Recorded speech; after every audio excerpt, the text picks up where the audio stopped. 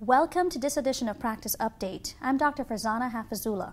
I'm here with Dr. Fred Hirsch, CEO of the International Association for the Study of Lung Cancer and Professor of Medicine at the University of Colorado in Denver. Dr. Hirsch, fantastic to have you here today. Thank you. Thank you for being invited. Absolutely. Just yeah. I finally want to get some of your key takeaway points, not just from this year's ASCO, but all of the information that's come up to this particular point. Any salient practice changing elements that you'd like to highlight for our viewers? Well, immunotherapy uh, yes. comes very fast. Um, we we see a lot of data these days, uh, still mostly in in uh, second line, third line therapy. We are starting to see combination data in first line, uh, phase one data. We saw that uh, yesterday here at ASCO, uh, nivolumab and ipilimumab in non-small cell lung cancer. It is it has efficacy. It is tolerable. So we are certainly looking forward to see more advanced, more matured data on this combination.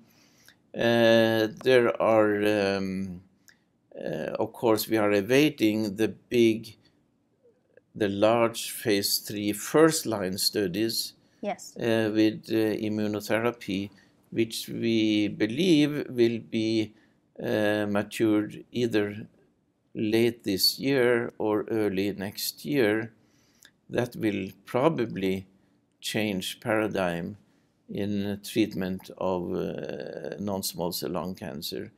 Of course, uh, with the approval of nivolumab and pembrolizumab in second line has already changed a paradigm for refractory uh, non-small cell lung cancer.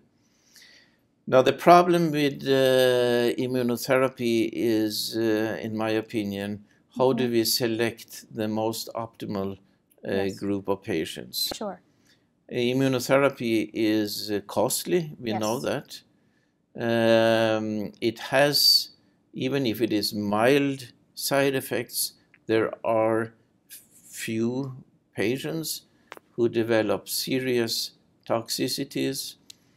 Uh, so we need to figure out how can we best select the patients? Sure. Currently, the PD-L1 uh, IHC assay is the assay all the companies are pursuing, but the problem is with the PD-L1 IHC assay is they are all pursuing different assays, different antibodies, different cutoff levels, different staining um, uh, equipment uh, included in their assays. So how will the community deal with this when the drugs are approved?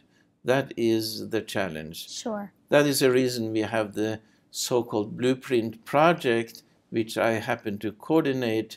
It is a collaboration with all the uh, pharmaceutical industries and the two diagnostic companies Ventana and Dako, and we are trying to compare the different assays so at least we get an understanding of what are the differences, what are the similarities yes. in the assays.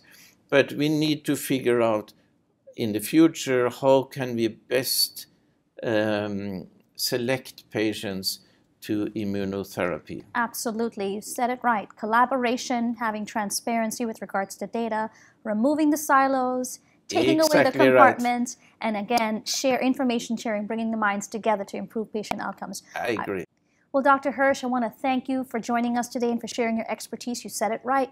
Collaboration is essential. Information sharing, having that transparency of the data so that we can improve patient outcomes is of the utmost importance.